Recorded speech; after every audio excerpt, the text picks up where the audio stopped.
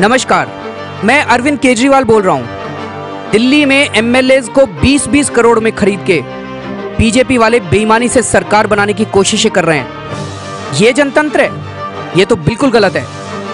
अगर बेईमानी से करोड़ों रुपए खर्च करके बीजेपी वाले सरकार बनाएँगे तो वो तो फिर बिजली के दाम ही बढ़ाएँगे, भ्रष्टाचार करेंगे, पानी की चोरी करेंगे, महँगाई करेंगे। बेईमानी से बनी बीजेपी की सरकार क्या महिलाओं को सुरक्षा दिला पाएगी? नरेंद्र मोदी जी चुप क्यों हैं? दोस्तों, अब तो बहुत हो गया। अब हम लोग चुप नहीं बैठ सकते। जय हिंद।